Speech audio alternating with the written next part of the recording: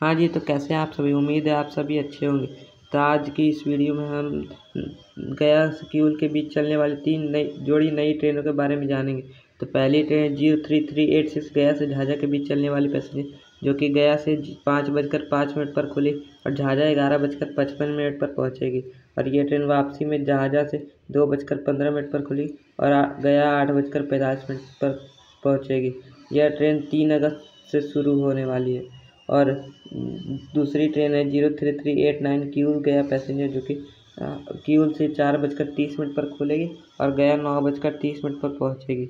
और वापसी में यह ट्रेन गया से दस बजकर चालीस मिनट पर पहुँच, खुलेगी और क्यूल चार बजकर पचपन मिनट पर पहुँचेगी। यह ट्रेन भी तीन अगस्त से शुरू होने वाली है और तीसरी ट्रेन है zero three three nine four, Gaya से क्यूल के बीच चलने वाले पैसेंजर। जो कि गया से आठ बजकर पच्चीस मिनट पर खुलेगी और क्यूल दो बजकर चालीस मिनट पर पहुंचेगी। और वापसी में यह ट्रेन क्यूल से छः बजे खुलेगी और गया ग्यारह बजकर चालीस मिनट पर पहुंचेगी। यह ट्रेन चार अगस्त से शुरू होने वाली है।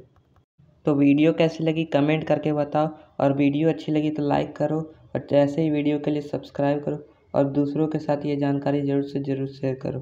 मिलते हैं अगली वीडियो में। Good bye.